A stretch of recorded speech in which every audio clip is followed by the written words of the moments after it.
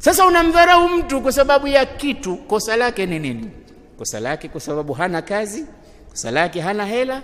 Yamshi lfaqiru wa kullu shay'in diddahu wa taghliqu nnasu dauman abwabaha, anasema fukara anatembea, lakini kila kitu kiko kinyume naye na watu wanamfungia milango,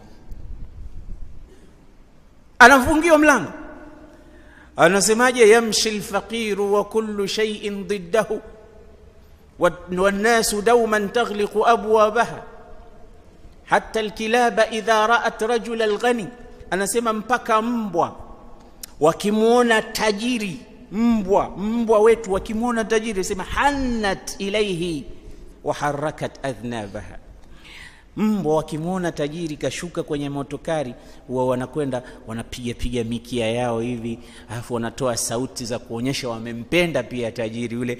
Wanajua atatia mkono atanunua kilo ya nyama atawarushia pale watakula. Jamani mpaka mbwa pia wamejua tofauti kati ya fukara na tajiri.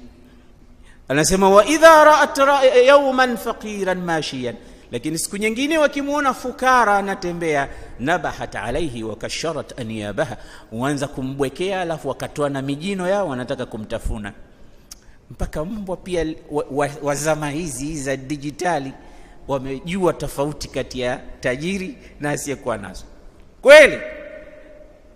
Anasema inna darahima fi lmawatini kulliha taksu rijala mahabatan wa jamala إن الغني وإن تكلم بالخطأ قالوا أصبت وصدقوا ما قال tajiri hata akisema porojo watu watapiga makofi sema hey, kweli kabisa umepatia ni sawa sawa waidha alfaqiru asaba qalu kulluhum akhtata ya hadha wa qulta dalala lakini fukara akisema fact mambo ya kweli ya sawa wataambia we una njaa tu unataka kula tu wewe umeishiwa unajitiatia kusema sema hapo unatafuta hela tu. Yaani uzuri wa maskini ni ubaya lakini ubaya wa tajiri ni uzuri.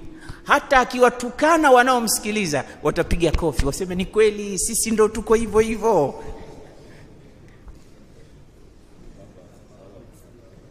Naam. Kwa sababu ya mali yake niliyosema inna darahima fi lmawatini kulliha. Pesa huko ulimwenguni kote taksu rijala mahabatan wa jamala. Inawavisha watu hofu ya kuogopewa na uzuri. Pesa ndo inakufanya unakuwa unaogopewa na una, unapendeza. Hata kama sura yako haipendezi lakini kwa sababu ya pesa utasikia wanasema hey, handsome boy, handsome boy. sio hivyo wanataka ile hela yako. Wanataka pesa ile naam nasema fahiya lisanu liman arada fasahatan. Hizo pesa ndio ulimi kwa mtu mwenye kutaka kuongea vizuri. Money talks hizo pesa ndo zitaongea. Ukitoa tu noti moja ya dolar mia utaona namna inavyoongea kwa ufasaha. Speaks louder than words. Eh, inasema tena kwa sauti kubwa fahiya lisanu liman arada fasahatan. Wasilahu liman arada qitala na hiyo pesa ndiyo silaha kwa mtu mwenye kutaka kupigana. Pesa tu. Leo dola kubwa kubwa zilizokuwa na pesa ndo zinatuburuza. Ndio zinakuwa na silaha kubwa. Zinafanya mambo ya ajabu kutokana na pesa. Watu leo wanaabudia pesa. Ukiiona noti ile ya elfu kumi unakaribia kusema iyaka nabudu wa iyaka nastain. Tunakwenda wapi? E, anasema mmoja katika wanachuoni wakubwa wa zamani kulitokea kisa cha ajabu Nasema alikuwapo tajiri mmoja alikuwa na mbwa wake anampenda sana, anatembea tembea naye kwenye gari. Siku moja yule mbwa alikufa. Baada ya kufa mbwa akafanya karamu yule bwana na mazishi, maziko ya hali ya juu, sanduku akanunua la mbwa, pesa nyingi akatumia. Watu Waislamu wakaja juu wakasema, kwa nini umetumia pesa nyingi na sisi ni maskini mafukara, hatuna hela, we umeenda kuzichezea, umenunua sanduku la mbwa, umefanyia mazishi na karamu ya mbwa, sisi tunataka pesa. Wakaenda wakamshtaki kwa chief, mzee wa mtaa. Chief akaambia, bwana, kuna mtu amechezea hela pale. Amefanya nini? Mazishi ya mbwa. Kachukua bakora, twendeni. Kufika, yuko wapi? Huyu hapa, bakora anaambia sikiliza baba, mbwa kabla hajafa alinihusia akasema nikifa nakupa hii milioni pound.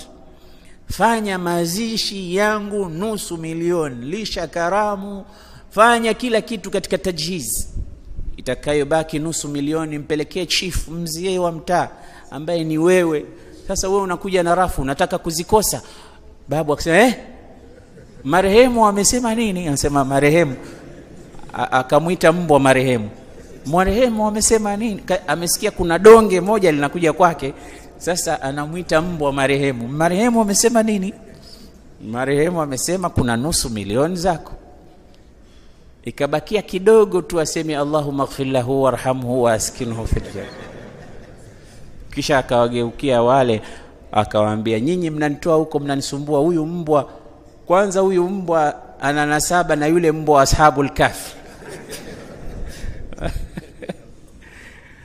pesa ndo zinatufanya tunakuwa matatizoni tunaharibikiwa. Eti tunawapandisha watu cheo ambacho hakustahiki. Tunaona wale ambao hawana hawana maana yoyote na ndio mashekhe wetu. Kwa sababu mashekhe hawana hela. Hakuna pesa kwa mashekhe eh, akitoka hapa akisalisha anaenda kula mhogo wake na nini. Sasa wewe wapende kama wewe mfanye biashara una, una, una shamba lako we, kila angalia hukuwa alim kuwa mutaalim kuwa muhib basi hata kama huwapendi la tubghidhum. Usiwachukie kwa sababu hii ni role model ambayo watu wanawafuata wao wanawaiga. Wao ndio watu ambao wanarepresent kumrepresent bwana mtume muhammad sallallahu alaihi wasallam watukufu wa islam mimi nimefarijika sana leo kutembelea markaz na hapa ni sehemu kitovu cha elimu. Naomba mwenyezi mungu iwe hivyo watoto wetu wapate masomo wasome. Na siku ya leo insha allah iwe ni fatihatu khair kwa vijana wetu wengine ambao walikuwa hawajaipa umuhimu hii elimu yao wazidi kuipa umuhimu na hii cd ifike kila pahali. Watu wawaheshimu mashekhe wao ulama wao waalimu wao maimamu wao kwa sababu wajue kwamba walichobeba ni kikubwa na inafanya wanafanya kazi kubwa sana ambayo waliifanya mitume na kwa kweli wanahitaji sapoti ya hali ya juu. Aqulu qauli hadha astaghfirullah li walakum fastaghfiruhu ya fauza almustaghfirina wa ya najata taibina wassalamu alaikum